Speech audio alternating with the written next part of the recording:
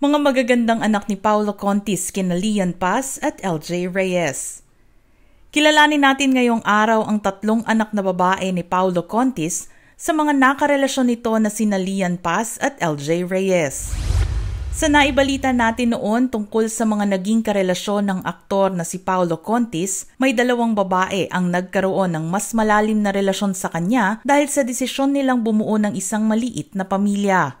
Aksidente lamang nang magkakilala ang ex-EB Babes member na si Lian Paz at Paolo Contis. Nagsimula ito nang maaksidente si Lian at humingi ng tulong kay Gorgie Rula. Subalit nagkamali ito ng pagpapadalahan ng mensahe para sa magsasaklolo kay Lian. Ang mensahe upang tulungan si Lian noong panahong iyon ay naipadala ni Gorgie kay Paulo. Nagulat na lamang si Lian nang makita ang aktor at doon na nagsimula ang lahat para sa kanilang dalawa. Nang magkaroon sila ng relasyon, dumaan si Lian sa ilang mga intriga bilang bagong girlfriend ni Paulo. Ang ginawang interview sa kanya ng dating entertainment show na Showbiz Central sa GMA7 ang nagkumpirma ng mas malalim nilang relasyon. Ang kanilang engagement ay unang nalaman ng publiko sa nasabing palabas. Nang ibigay ni Paolo ang singsing, sinabi nito kay Lian na pakasalan niya ang aktor. Ngunit umapela muna si Lian at ipinaliwanag na ang nasabing singsing ay promise ring ni Paolo na nagpapakita kung gaano katotoo ang aktor sa kanilang relasyon. Inamin din ni Lian na hindi pa niya nakikilala ang mga magulang ni Paolo bago ang nasabing engagement at hindi rin nila napag-uusapan ang tungkol sa kasal noong panahong iyon. Ayon sa kwento ni Lian, nagpakasal sila ni Paolo noong 2009 sa pamamagitan ng isang civil ceremony bago mabinyagan ang kanilang panganay na anak. Sa tatlong taon nilang magkasama bilang mag-asawa, ay nagkaroon sila ng dalawang anak na babae. Sina Sonia Aitana na siyang panganay nilang anak at Celine Abriana na siya namang bunso.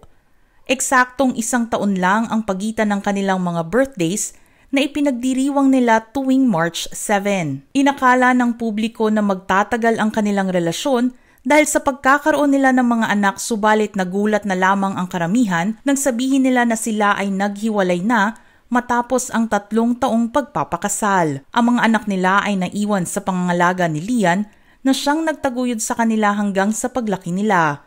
Matatandaan na sinabi ni Lian noon na maayos silang dalawa ni Paulo at hindi nito ipinagdadamot ang mga bata sa kanya. Subalit laking gulat na lamang ng publiko nang magsabi ito sa isang netizen na nagtanong kung si Paulo ba ang ama ng mga anak nito. Sinabi ng dating EB Babes member na anak lamang niya sina Sonia at Celine dahil hindi na nila nararamdaman ang pagiging ama ni Paulo sa kanila. Ang pagsiwalat ni Lian tungkol sa pagiging ama ni Paolo ay nangyari nang may pagdaanan ang bunso na si Celine nang makagat ito ng aso sa labi. Itinakbo nito ang bata sa pinakamalapit na ospital upang mabigyan ng anti-rabies kasama ang partner na si John Kabahog. Sa paglalahad nito sa post tungkol sa sinapit ng anak, nagpapasalamat ito sa kanya dahil siya ang tumatayong ama ng mga bata at kaagapay ni Lian sa buhay. Sa isang interview noon kay Paulo, sinabi nitong kung siya lang ang masusunod, ay mas pipiliin niyang malapit lang sa kanyang mga anak.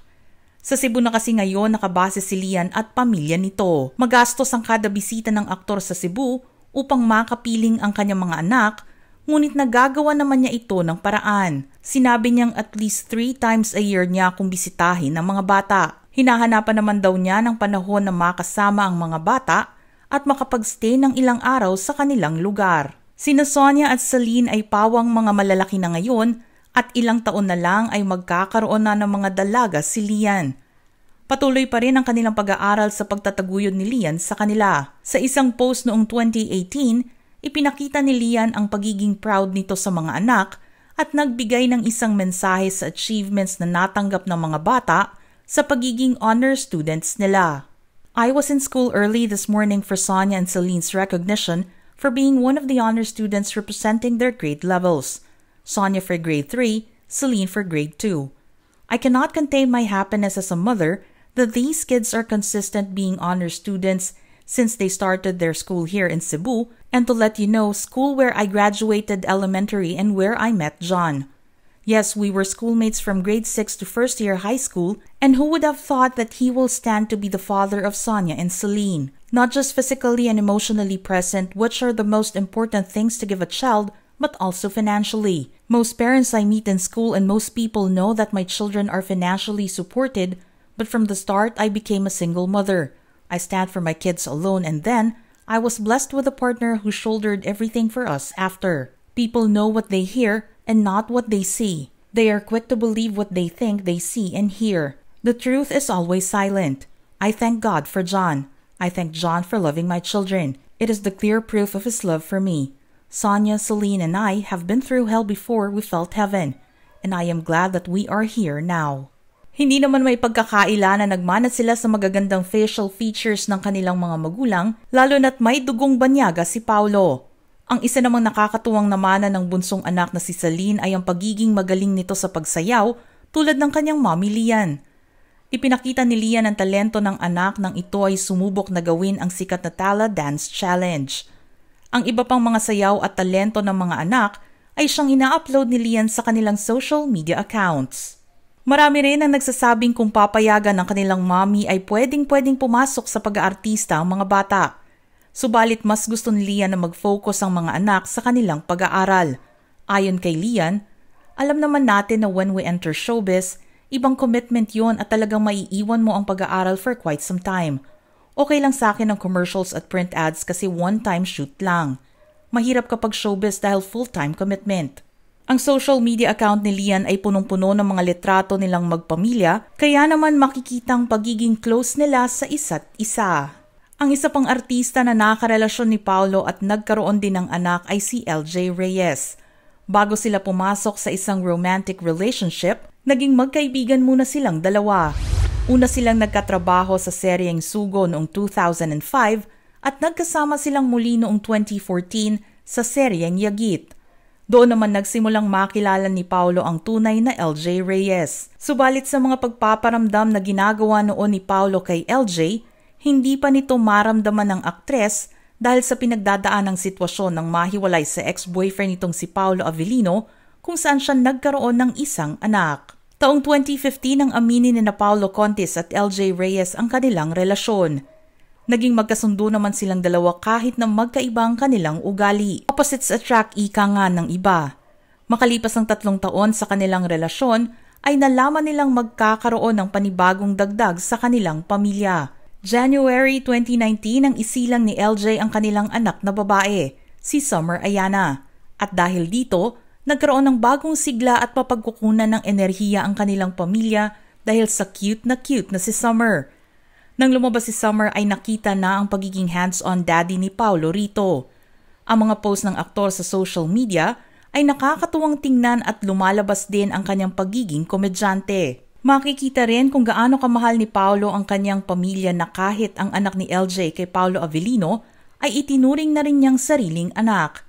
Malaki rin ang hirap na dinanas ni Paolo para makuha ang loob ni Aki dahil hindi niya ito minadali. Hinintay niyang magbukas ng kusa ang loob ng bata sa kanya nang sa gayon ay mas maging authentic ang kanilang relasyon.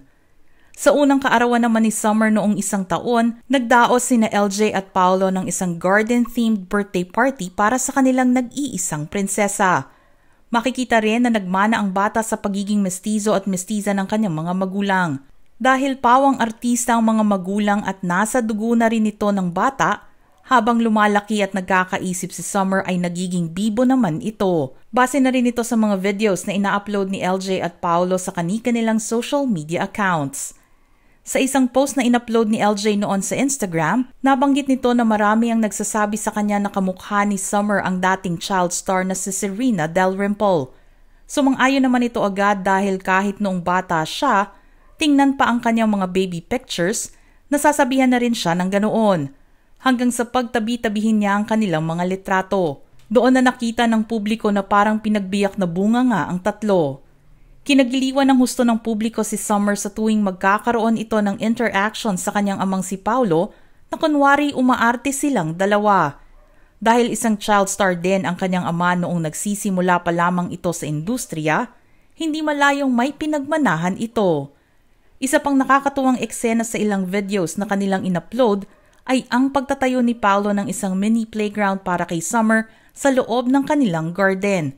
Ang isang espasyo kasi para sa garden at garahe nila ay nilagyan ng mga laruan ni Paolo nang sa gayon ay hindi na magpunta pa at lumabas ng bahay si Summer upang bisitahin ang kanilang park. Dahil sa nag-iingat ito sa virus, naisipan na lamang niyang sorpresahin ang anak sa itinayong mini playground. Ang pinakahuli nilang video na magkasama ay nang ipasyal ni Paolo ang anak sa loob ng kanilang village. Sa paghihiwalay ni na LJ at Paolo, tiyak na marami ang malulungkot dahil hindi mo na nila makikita ang ilang videos ni Summer kasama ang kanyang ama. Samantala, kahapon lamang ay nagsalita na ang aktor na si Paolo Contis tungkol sa issue ng hiwalayan nito sa longtime partner na si LJ Reyes. Sa pag-amin sa kanyang mga pagkukulang, humingi ito ng paumanhin sa mga taong kanyang nasaktan. I'm sorry sa lahat ng nadamay sa issue na to. I want to apologize to Lian and the kids na nagulo na naman ang tahimik na buhay dahil sa akin. I'm sorry to my mom. Please don't worry about me too much. I'm sorry to my team na hindi na nakakatulog dahil sa akin. To Summer, I'm sorry, my ganda. I love and miss you so much. Papa will do his best to be better. I will always be here for you, I promise. To Aki, I wish I could have done things differently and listened to you more. I'm sorry I failed you. To LJ, I'm very sorry for everything, sa lahat-lahat. Panghuling mensahe naman ni Paulo na nais nang matuldukan ang lahat ng nangyari nitong nakarang ilang linggo, I will work on making myself a better person and learning from this. But for now, please respect our privacy and pray for us. Ngayon, kung hindi pa po kayo pagod, please direct all your hate and bashings at me. No one else deserves it. Ako lang. Thank you. Magkaroon naman kaya ng pagkakataon na makita natin na magkakasama sa iisang video o litrato ang mga magkakapatid na sina Sonia, Celine at Summer? Abangan natin at malay natin baka ito ay mangyari isang araw. Panahon na lang din kasi ang makakapagsabi kung mabibigyan silang magkakapatid ng pagkakataon upang sila ay magkakilala. Mga ka-showbiz peeps, anong masasabi ninyo sa ating istorya ngayon? Send in your thoughts in the comment section below.